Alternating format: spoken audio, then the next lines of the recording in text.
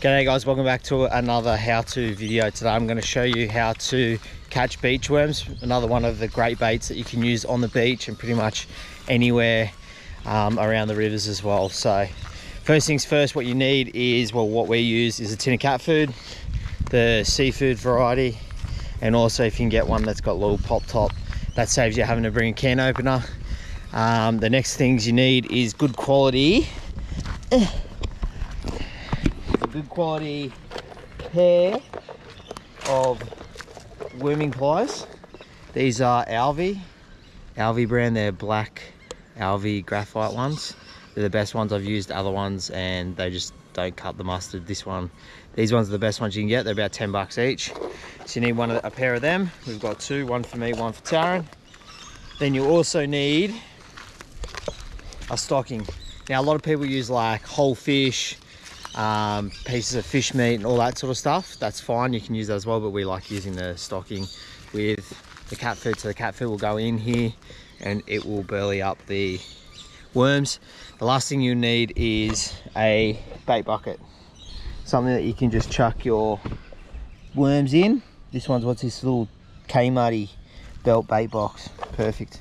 Holds all the worms in there for us so we can catch them.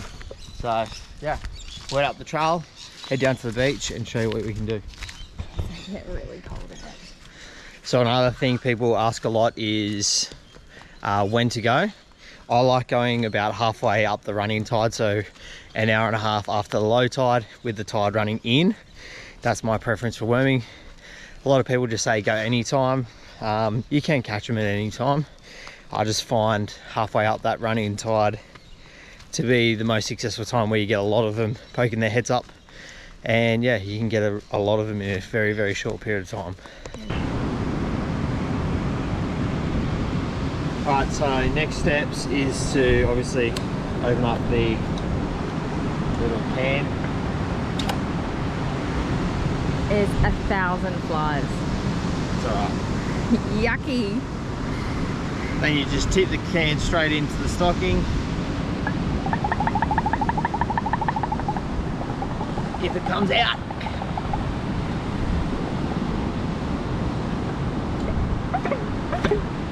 There we go. And there's your perfect worming bait right there. Ready to go.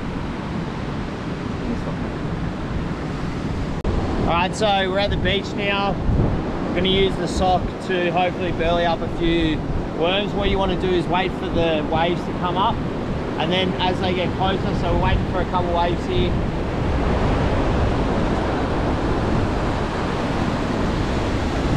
As they get close, you just want to start burling and using your stocking, waving it around.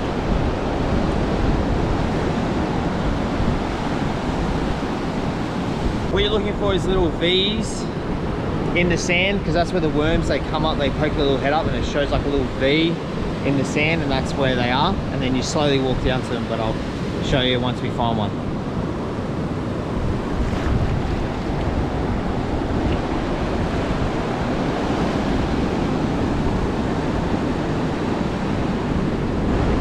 Down there.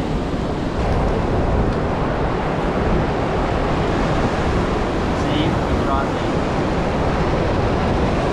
He's just sitting under there now.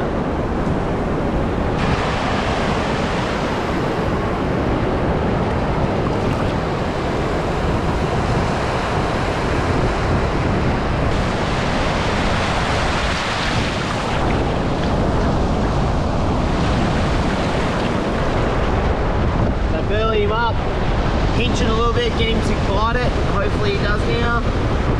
Glide it, you pull him up a little bit, and then you got to get the plier underneath quicker. That's right. We keep trying. You don't get him every time.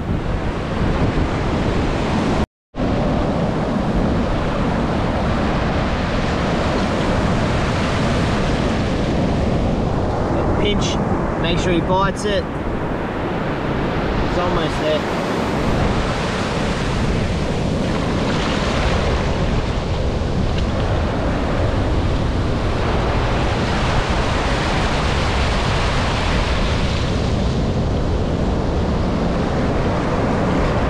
Yes.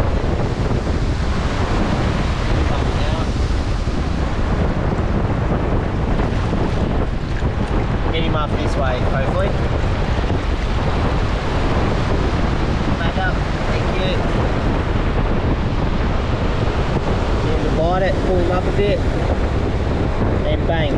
Right behind it, keep it close. You get it right on the head there, then you pull towards the shoreline, and bang. You have yourself a beach worm. There's our first one of the session. The biggest key is, let's get out of the water.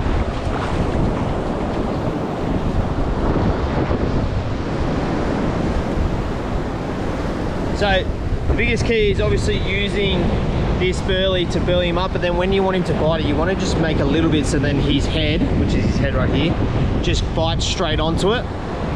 And then pretend the sand is where my finger is. He's bitten it, you want to bring the pliers in right behind his head. Don't pinch it when it's here, you want to pinch it right when, I'll get the sack out of the way. You want to pinch it right when his head's right in the middle of your pliers and then pinch hard okay you're feeling pull against you and then you want to pull up towards the shoreline and then you have a beautiful beautiful worm the key is obviously make him bite lift him up because as soon as you put the pliers in the sand or you put your hand on the sand he feels it straight away and uh, yeah as soon as he feels it that's game over as soon as they bite once they never come back so if you miss him or he bites it and, and goes back into his little hole move on find a new one and see if you can't catch more with it. You're gonna miss heaps of them, but once you get the first one, it's kind of like riding a bike. Once you get the first one, um, it gets a lot easier as you go through. So, I'm gonna catch a few more, show you a few more, and then yeah, keep going. So what we're doing, we're waiting for the wave to come up. I already know there's one about five meters in front of me. You don't want to get too close to it till the opportunity arises. So we're gonna wait for the wave to come back up, burling him up, and then slowly walk down to him. You don't want to step right where he is. You want to step beside him. So let's say, let's say the nippet, not the nippet, the worm's in this hole here. I want to stand side on to him and burly him up and bring his head up this way. Okay, if you step right where he is, he's not going to come back. So you're going to be a bit sort of sneaky about it. Right here. A couple more too.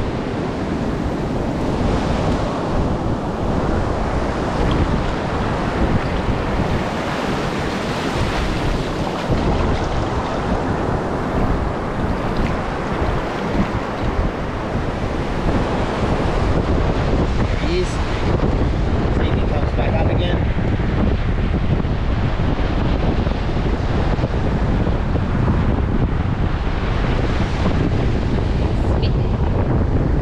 Wa- Wave coming, you let go, don't let him.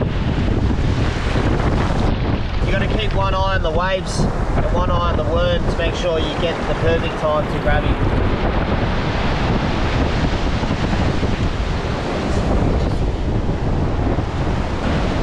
Right, so heads up, grabs onto it, pinch behind, grab, pull towards the shore, and he fell off.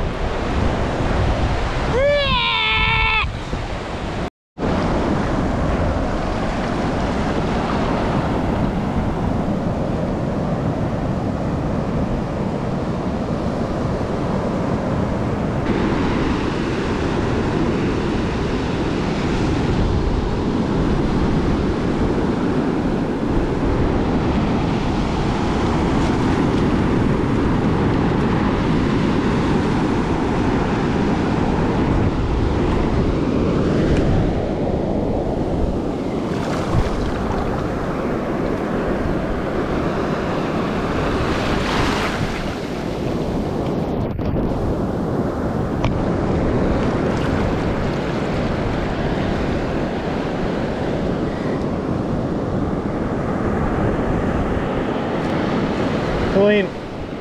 Bang. There we go. Don't need me. There you go.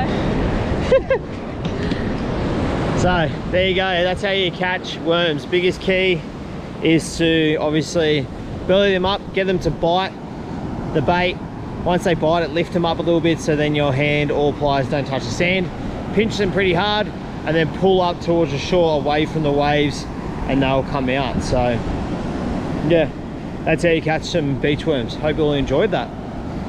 Taryn's turn to see if she can catch a few. Maybe. So yeah.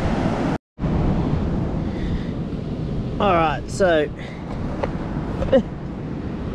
You have some worms in there, enough for a fish, probably eight or nine in there. You cut them up to fit the size of your hook. So each worm probably gets three or four baits and they normally hang on pretty well. They're kind of like a squid. They're quite um, tough on the hook and they can hang on there for a long time. So once you have all of your worms, what you want to do is tip them out in dry sand. So you tip them all out in dry sand, all of them, and then you just coat them in that dry sand. Then what I do is I normally put a bit of sand in the bottom of a bucket just to coat the bottom, chuck them in. One more, don't forget this one. Salt and pepper. and then chuck some sand on top of them and all you have to do is keep them in a cool dry place and they're good for a couple of days like this. You can change the sand and stuff like that but they generally stay good for about 48 hours so Or freeze them. yeah or you can freeze them they last months. So up to you with what you want to do. But uh yeah that's how you catch beach worms. Hope you all enjoyed it. Leave a thumbs up if you did subscribe and i'll see you all in the next one. Peace